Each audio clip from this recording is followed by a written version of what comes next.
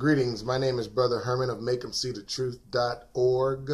We are a nonprofit organization who has been commissioned by a Holy Trinity to be used to bring forth and restore these values that are dissipating slowly but at an alarming rate uh, within our communities. We are going to restore the correct informations that are lacking in these in certain individuals or many individuals that are walking around in our diverse nations that make up our community. We have three different areas that we're taking a look at because these three are the three vital areas that, uh, when lacking that correct information, brings a poor uh, perception on life in general. So we want to be used to funnel back the correct truths and informations and the factual data back into these minds that are walking around lost and confounded. Uh, we are a nonprofit organization who will be giving back to our communities less fortunate. The less fortunate simply means those who are lacking the correct information. The most fortunate are those who have this information and have abundantly prospered because of it. So we're requiring and asking that our most fortunate, our community's most fortunate, assist us in this mission. You can help us at makeemseethetruth.org. On the front page, there is a button. You can click the To Assist Us button, and it will take you directly to our donation site, which is youcaring.com forward slash our children's children hyphen 761449. Or you can go to an independent site, which is gofundme.com forward slash make them see the truth hyphen org. At any rate, whatever you're called to do or move to do, we appreciate it because we're going to use it to restore values back into our communities less fortunate. One case, one life, and one individual at a time. So, the three areas that we're going to be primarily primarily focused on is the spirituality, the legal sense or the judicial part of our society, as well as the medical counseling and the reason is is because when you lack spiritual informations and truths, and you lack judicial informations and truths, as well as medical informations and, and facts, then we what what happens is is that we operate in in, in uh, aired knowledge or un, incompleted knowledge or informations and therefore we are more susceptible of making aired decisions when when faced with different choices in these different areas, which then will result in a hopelessness or a a a a uh, a, a poverty or a state of disparity. And we are seeing and witnessing the, these types of individuals walking around outside in our society, as well as those who have been trapped up and gone inside into our our, our society's prison system. So we want to be uh, useful and and be a part of the solution instead of a part of the problem. And we've made up our minds to give back that which was freely given to us. I have a partner. His name is Dr. Thomas Young. He's with the Cons Helping Cons organization, which simply helps those who have been trapped up uh, into captivity to come back from captivity into our society or communities with a nice transition. Uh, so that is the area in which he's mostly focused at. But he is he's offered to reach uh, give a handout anytime I am in need of him. He will be there for your assistance or for your concerns. And so all we have to do is go to the page three of makeemseethetruth.org. There is an assessment application. We're asking that you fill that out in its entirety. So hit the submit button and it'll come directly to us if it's a spiritual matter, someone who's certified like we are, all are, or someone who is uh, ordained like we are, all are, will do, be the ones to return that phone call or that email. If it is a legal matter, the same applies as well as the medical issue. The same applies.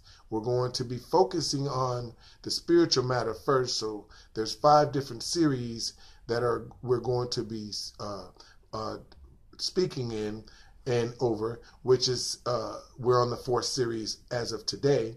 We're on the fourth series. We're going to begin that. The fourth series is going to deal with the legal or judicial matters. But before we begin this uh, set of series, which will be five parts, part A through E, we're going to touch on uh, this first series and, and, and, and elaborate a little bit about what that was about, as well as the second and the third. The first series was basically since all things start in the spirit, we started there. If God is is the beginning and ending of all things, which we know for sure that He is, and so the Creator is spirit, we must start in the spirit if we want to be used to restore values back into the carnal or the fleshly realm. And so that is what we that's where we decided to start from. We started from the spiritual essence of where we come from, the origin, and that is the birthright.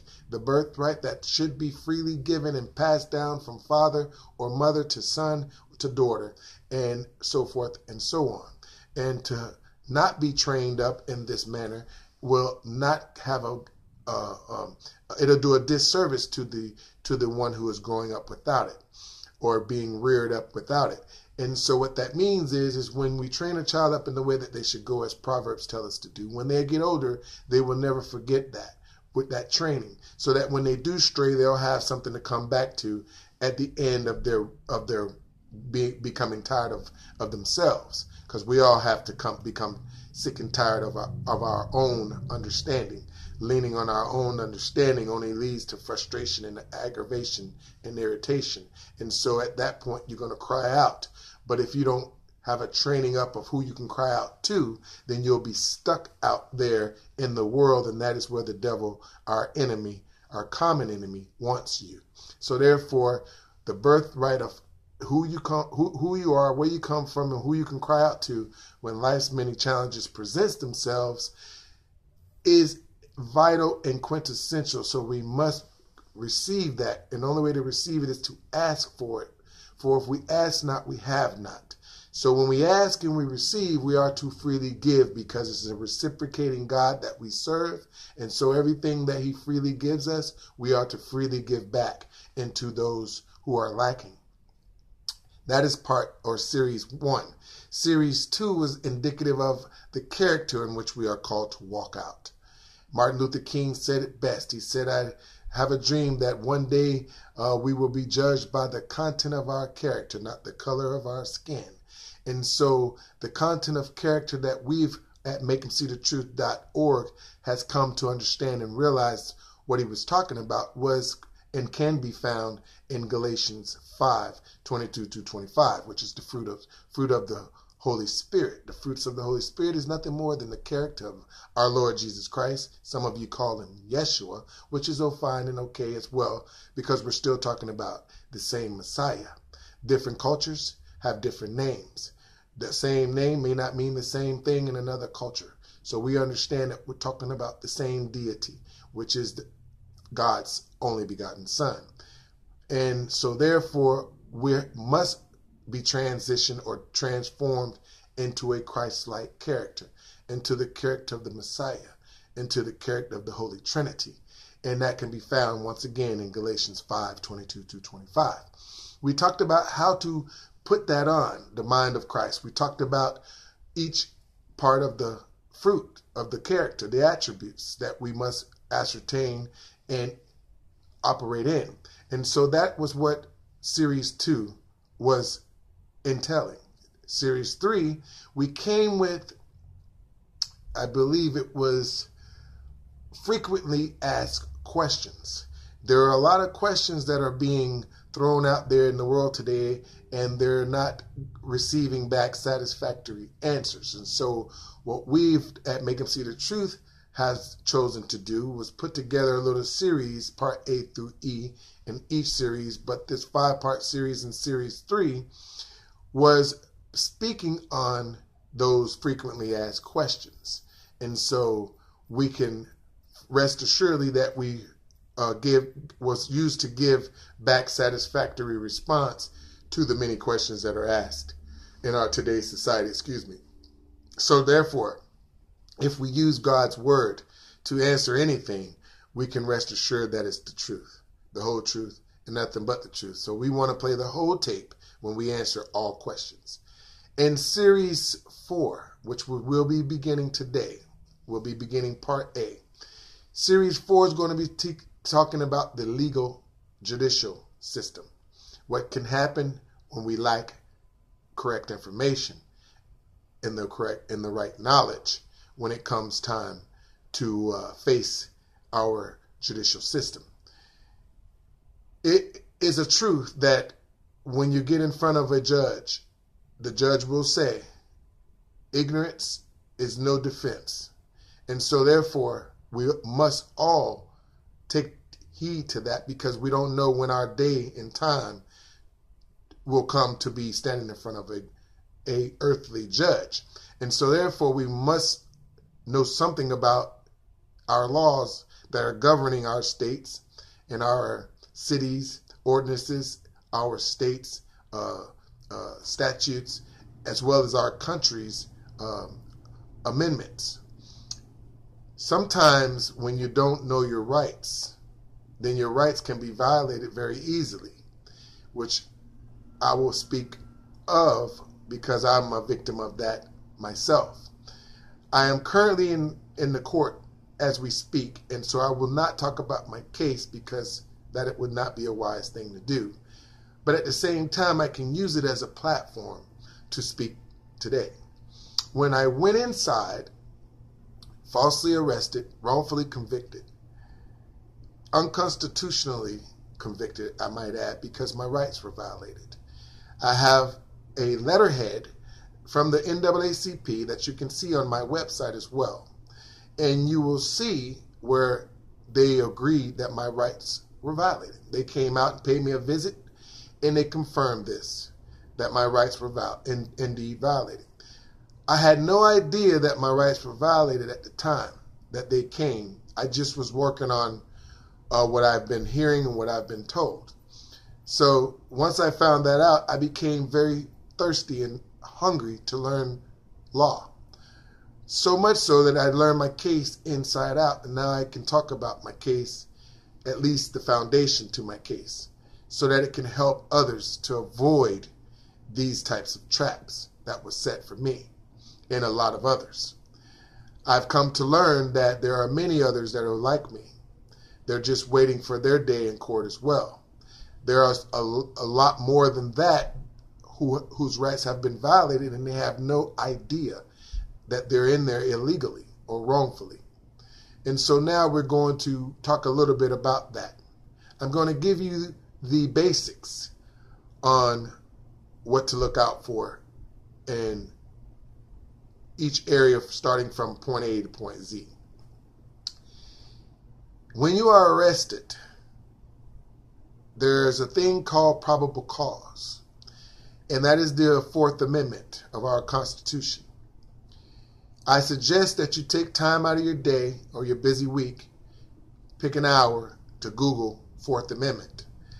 And I suggest that you study it up a little bit more than you know about. If you know about it, fine. If you don't, this is for you.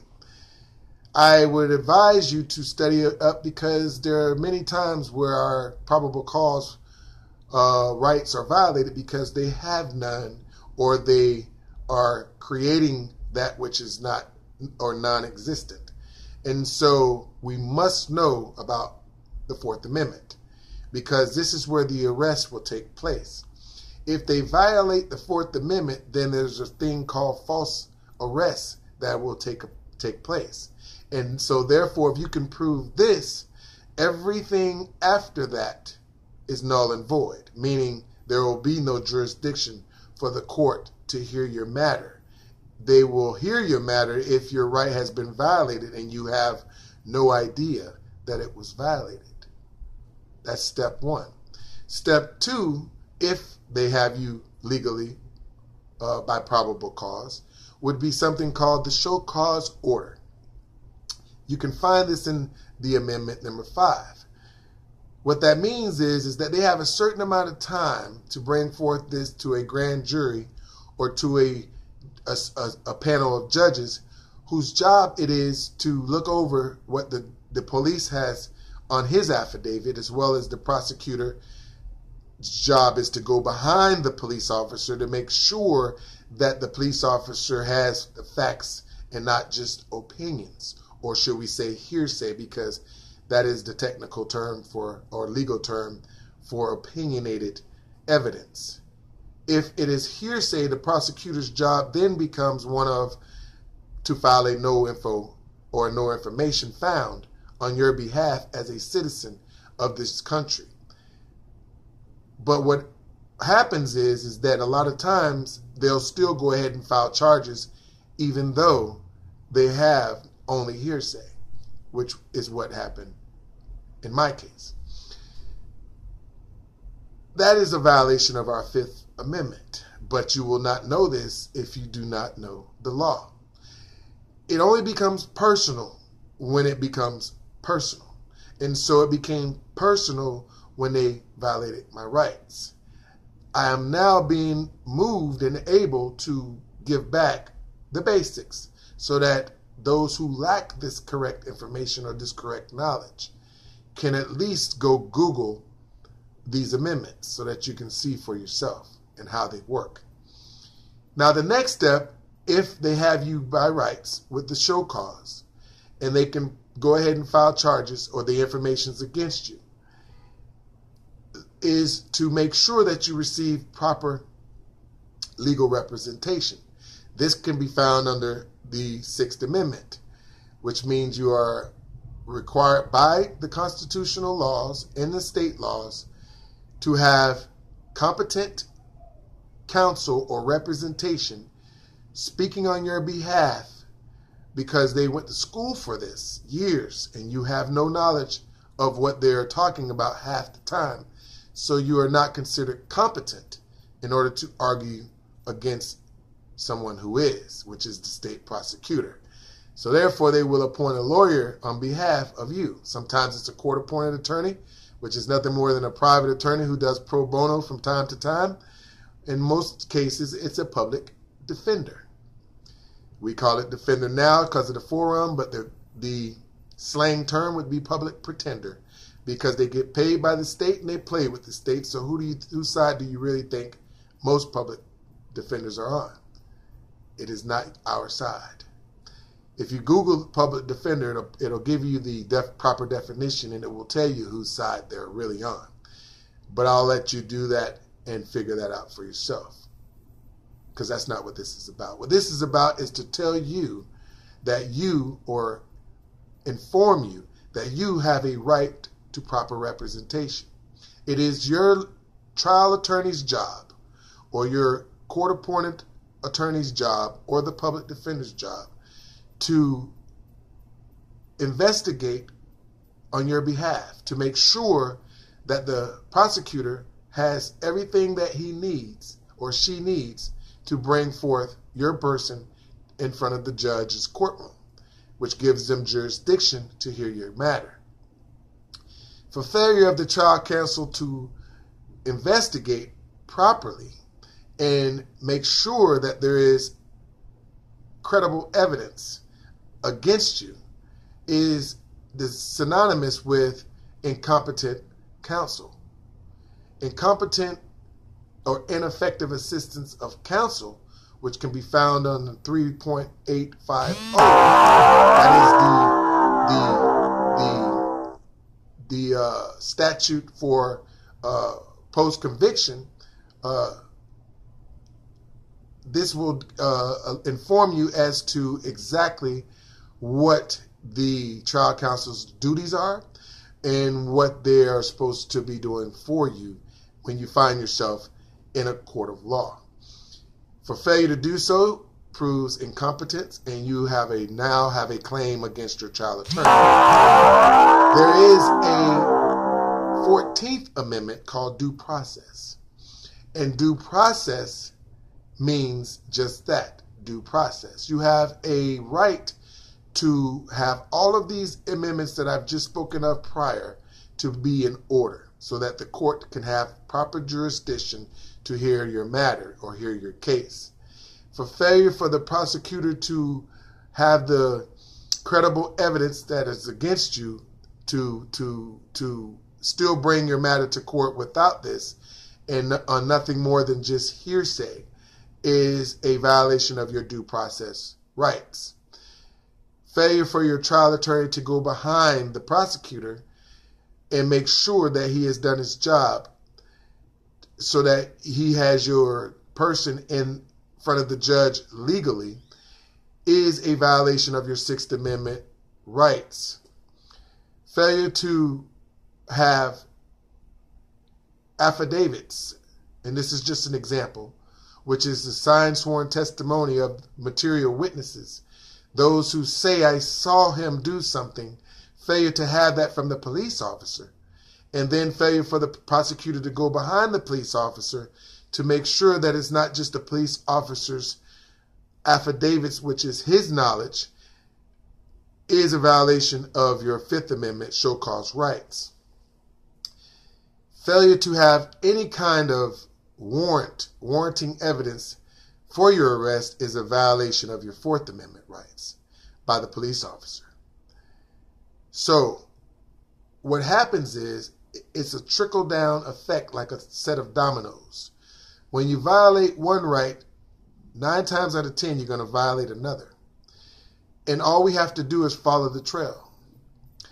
The trail is going to lead to a wrongful conviction, which is also synonymous with an unconstitutional conviction. Unconstitutional convictions become the matters of the federal court or the U.S. courthouses. And these matters are only when the rights have been violated. You are now in a vehicle called the petition of habeas corpus. Or if it's a state matter, it will be placed in a 3850, which is a 3.850 motion for post conviction release. You will then be in the Supreme Court, the state Supreme Court, for that matter, if the rights have not been violated and they just broke a few laws here and there to get you there. Now, we must remember one thing that the prosecutor must seek a conviction by the preponderance of the evidence and it must be a fair uh, uh, trial. He cannot seek a conviction by any means necessary. He can only seek justice by any means necessary. Let's not twist those two. The trial attorney's job is to make sure that your rights are protected, to make sure that your best interests are in mind and at hand. For failure for him to do so is a indicative of ineffective assistance of counsel. The appellate counsel's job is to go behind the trial counsel to make sure that the trial counsel dotted his I's and crossed his T's. For failure for the appellate trial counsel or the appellate counsel who can be appointed by the court in a direct appeal, failure for him to go behind the trial counsels in the transcripts and make sure that everything was done properly is a violation. It is a ineffective assistance of, of appellate counsel that can be done on a direct appeal. Failure for him to do that also is a Martinez claim, Martinez versus Ryan. We have Brady claims and we have all different types of laws in, in place to to secure our rights and make sure that we get proper uh, uh, venue and are heard so that we, some of these cases can be heard by the DCAs, which is the D- District Courts of Appeals, and they can be overturned with the proper merit in the proper vehicles with the proper informations. You can have a just claim, a meritorious claim, but you can also be in the wrong vehicle. You can be arguing a case that should be in the 3850, but you have it in a petition of habeas corpus. corpus, corpus.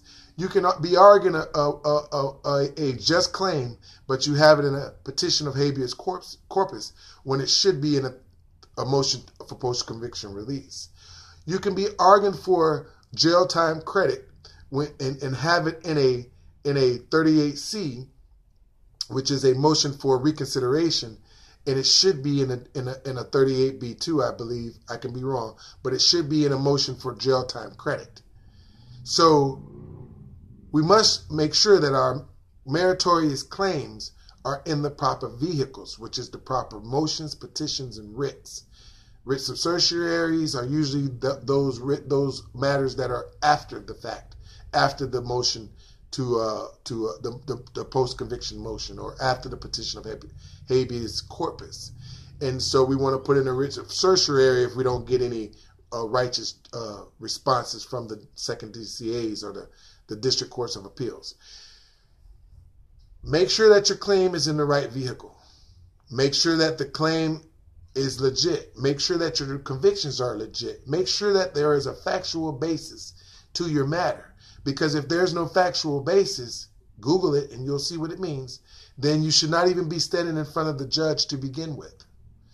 Go behind the prosecutors. Sometimes our public defenders are not doing that for us. Go behind the public defenders. You can't trust anyone that works and get paid by the state. Go behind even a private attorney because he has many cases that he may miss something. Okay? Learn law little by little, and you'll be amazed about how much you can amass over time, which will help not only yourselves, but your loved ones, your neighbors. The more knowledge we know, even though we may not never eat, ever need it, the better off we'll be. Why? Because it's always better to have and not need than to need and not have. This is part A. Am I in the right vehicle? Do they have a claim, a just claim against me? Or have my rights been violated? Stay tuned to part B when we talk a little bit more about factual basis. This is Brother Herman of Make 'em See the Truth.org. You can assist us on the front page of our website by clicking on the button that says to assist us. Click here. It'll take you there, and I appreciate whatever it is that you're moved to assist us with. We're going to use those funds to make more motions, make more petitions, make more writs. We're going to use those funds to open up phone lines and people's time so that we can have these certified members that are on the team in our outreaches so that they can make time and free up some time to answer your phone calls. We're going to use these funds to answer those spiritual questions that are fleeting, to give you the proper informations because our people perish for lack of knowledge. We want to make sure you have this knowledge so that you don't have to merely exist outside of God's presence, but you can get the truth so that'll bring you and give you a chance to come back into to God's presence and uh, put and ask for God's presence to come inside of you so that you can have a better perception, a better thinking, a better spoken word, and a better behavior while you're out here in our communities. You can become a part of the solution, transition from being a part of the problem. You can go from being a walking curse into a walking blessing simply with acquiring knowledge, the correct information, and operating in them. Thank you again for your time. May God bless us all, and you have yourselves a great night.